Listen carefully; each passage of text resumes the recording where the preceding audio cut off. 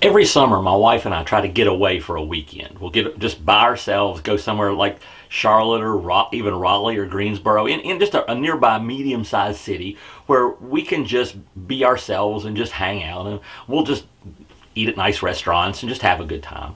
And a few years ago, we went to Charlotte, and they have a pretty nice museum there, an art museum, and we decided we'd go there. We're not big art museum people, but we went that day and they were featuring, I can't remember whether it was a single artist or a group of artists who had the same motif. What they did was they, they took, they repurposed things. In other words, they took other people's junk and they uh, make it into what turned out to be really cool looking art. They were huge pieces of art and they were really cool and they were repurposed.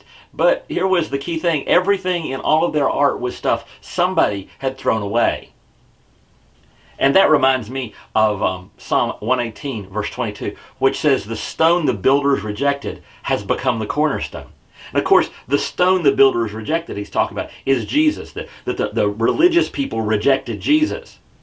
But God then made him the cornerstone, of everything he did. But Jesus isn't the only one God does that for.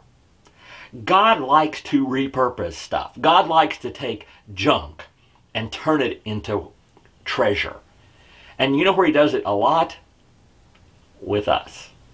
God likes to take us when we're feeling rejected, when we're feeling we don't have a lot to contribute, when we're feeling like we don't have a ton of value. God takes us and turns us into, like Ephesians says, masterpieces.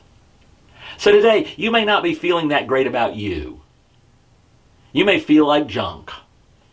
But remember, that's okay, because God can take junk and He can make it into treasure. And that's today's Jumpstart.